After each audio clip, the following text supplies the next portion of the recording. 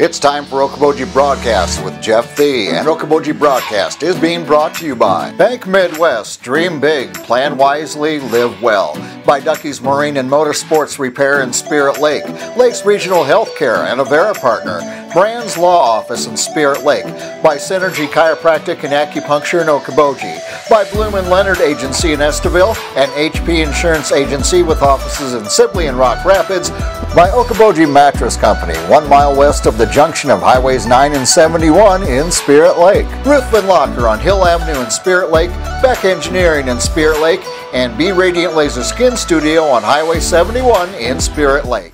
Welcome to Okoboji Broadcast, everybody. Start of a, well, it's a beautiful day today. I know we're looking at a little rain tomorrow, maybe Sunday. We'll see. The weatherman, sometimes they don't get it right. State Representative John Wills of the 1st Legislative District of Iowa is here with me today.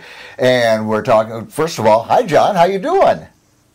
Good, good. How are you doing? Thanks, thanks for having me today. It's my pleasure. So glad you could, because I, when I saw the legislature was going to reconvene, I thought, oh my goodness, uh, I got to talk to Representative Wills. And since it will reconvene on June 3rd, uh, and I know you've been working hard from home and, and trying to get things done, but is it going to be good to get back down to Des Moines and working with colleagues and, and moving the budget and everything else forward? Yeah, you know, we have uh, we've been doing a lot of Zoom meetings, a lot of telephone uh, conference calls. Um, so we're doing things here. Just uh, we don't uh, get a chance to see each other in person, and and I, I, really, you know, me personally, think that that personal contact is uh, just such a great um, additive portion of what we do as legislators.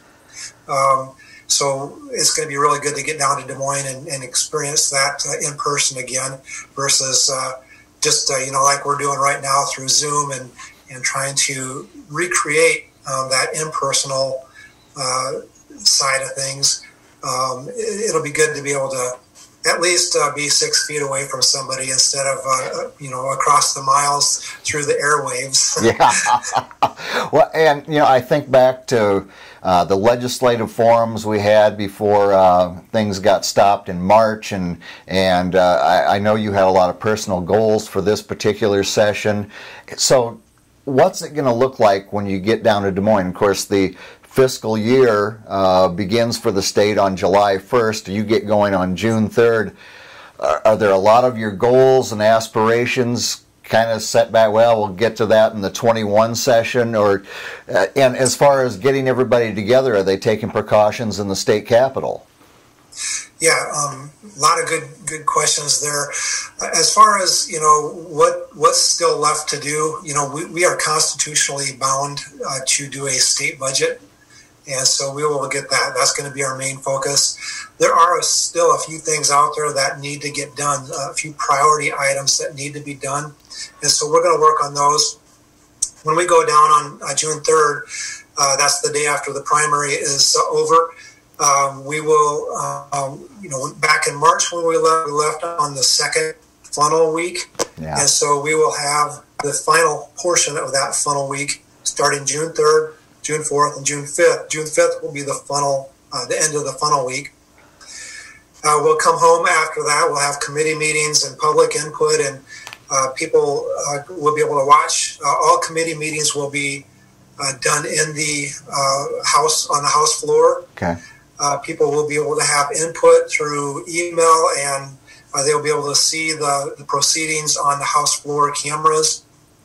Um, people can send in notes. People can uh, do all kinds of things as far as public input, and that was one of the things that was very important for us was to have public input and and to be transparent.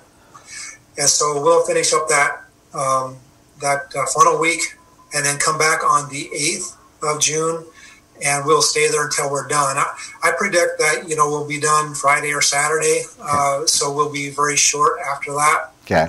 Uh, Des Moines is still, uh, they've got a lot of cases of, uh, of the COVID virus. And so we don't want to needlessly be spreading or, or, or putting anybody into harm's way.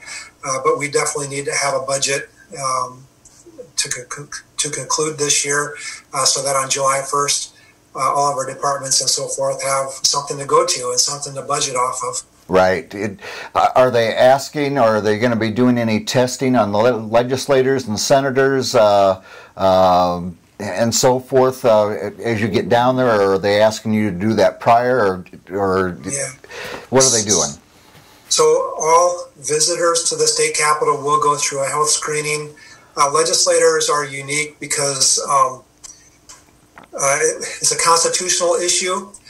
Even if a legislator has is tested positive for COVID 19 um, and they say, I'm going to go vote, we have to allow them to go vote because the Constitution says uh, legislators are. Um, I'm trying to think of the right word. Legislator, basically, legislators are required to vote if they're able to. Right. And so, um, constitutionally, we can't prohibit somebody, a legislator, um, from being there. Uh, nor nor do we want to. I mean, that would that would discriminate or, or you know invalidate one right. of the state's population yeah. uh, by doing that.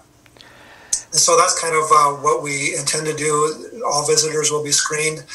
Uh, every time they come into the Capitol, they'll have a temperature and, and health questionnaire taken. Legislators can voluntarily do that. Um, face masks and, and, face shields will be uh, voluntary on a voluntary basis. Yeah. Um, but we're setting things up so that we will have space. Uh, we will have, um, you know, the, the, the areas around the Capitol will be cordoned off for certain groups of people. So, uh, you know, people who want to speak on a specific item or, or want to be there can definitely go, uh, but uh, th- they will have to, you know, be in certain locations of the building at certain times. And, yeah um, so it's for the best for all people in the state of Iowa, not just legislators or anything like that. Yeah, like like everything else, John, it, it's going to look a little different than uh, what we were doing three months ago.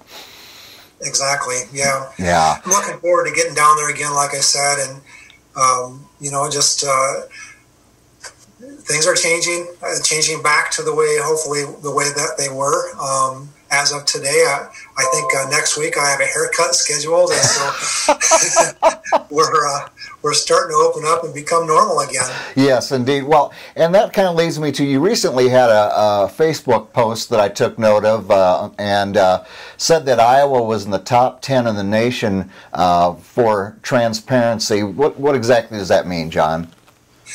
You know, so often I get emails and they're saying, you know, quit quit uh, telling people, you know, mistruths and, you know, quit misleading people. Iowa's the hotbed of COVID 19 and, and all that stuff. And so uh, I think yesterday Iowa was notified that we are in the top 10 of the states as far as transparency uh, for our reporting systems and, and the COVID, uh, especially the COVID tracker, the, the website that we have.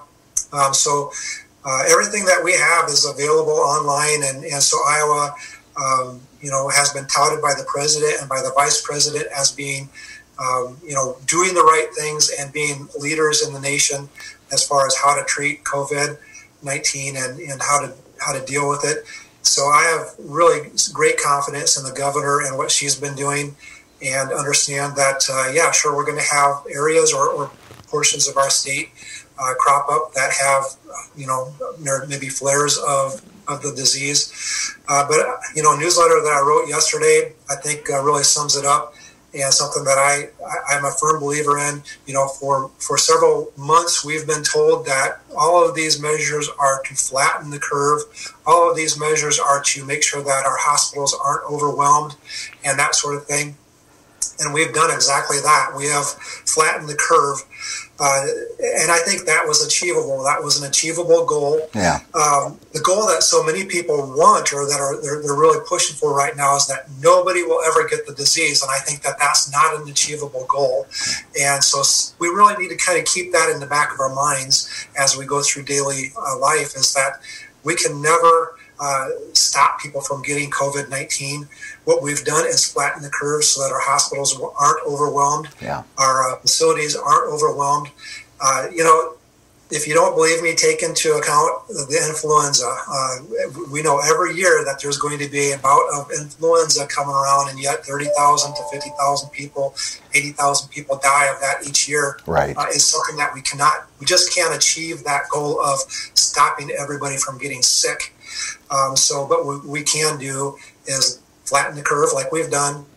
We can practice good hygiene, washing our hands, and uh, just being smart about how we do things as we begin to open up and become uh, an active society again uh, and being able to interact with people and be out and about. Yes, and you know, and I can't recall, John, uh, where we were on you know before all this started you know, it's getting back to the legislative part of it, and that uh, uh, where we were on like uh, you know on the budget for education, which is a lion's share of uh, the the budget for the legislature, and uh, this is going to have to come together fairly quickly, and then of course uh, the governor is going to have to sign or veto things as they come.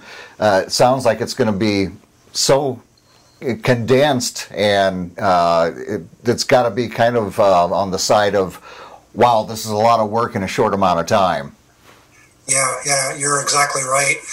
Um, you know, we're really going to have to look at the budget because we we had looked at maybe having about a 500 million dollar uh, budget overage, yeah. meaning uh, taxpayers had overpaid. Um, but uh, I think that we're going to be looking at a shortfall and so, where does that leave us as far as uh, we already approved and the governor has signed a 2.3% increase to K through 12 education? Um, you know, hopefully we can save that and keep that uh, untouched. But the rest of our state budget is going to be tight, and we're going to have to really look at um, what we were going to do. Uh, we were looking at a huge increase to mental health, for example. I believe we need to have some increase to mental health because this whole isolation and uh, whole thing is really kind of reduced um, people's ability to cope. Um, but uh, we need to have those resources available. But can we? We just won't have as much money to deal with that yeah. uh, sort of issue as we had thought. You know, and that's one side of the, uh, you know, the quote unquote uh, hundred day session.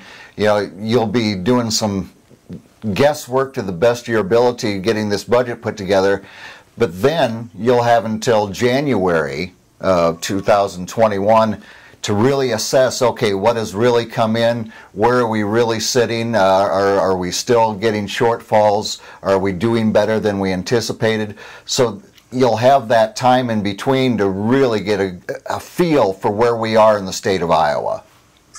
Exactly yeah. Um, and you know in a couple years that i've been in the legislature by the time we got to january the revenues didn't come in as anticipated and so we had to make some cuts I'm hoping that we can avoid that. Um, we did ask uh, recently, we did ask for the Revenue Estimating Committee to come back in and uh, take a look at their estimate that they made in uh, March. Mm-hmm. Um, we, we believe that their estimate is going to be off. Um, we want to know uh, before we come back in on June 3rd how off their estimate was. Um, the next time they come in officially will be in July, so we don't want to wait till July uh, for their July estimate but we do want to get kind of a, a general feel for where they think uh, things are. Because in March, um, things were still fairly open, things were still moving along. Um, when they met on March 12th, I think it was, um, and things have drastically changed since they have met. And they, they estimated about an $80 million uh, change on March 12th. Yeah. They, they estimated $80 million less revenue based on COVID 19 and I think that's going to be significantly more. We had $32 million less revenue last month alone. Yeah, uh, I, I, don't envy you, uh, Representative Wills, uh, and the, everybody else in the legislature, the the governor.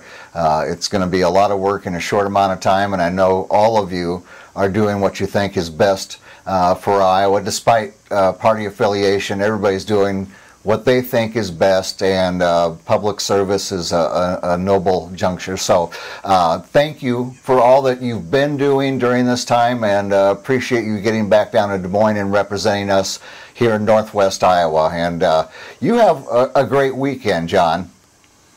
Thank you, you too, and uh, thanks to your sponsors for uh, helping out with this and uh, making this available to the public. I thank you, and I thank those sponsors as well. Our guest has been State Representative John Wills, of course, the first legislative district right here in Iowa. We thank him for joining us. We thank you for watching us right here on Okoboji Broadcast.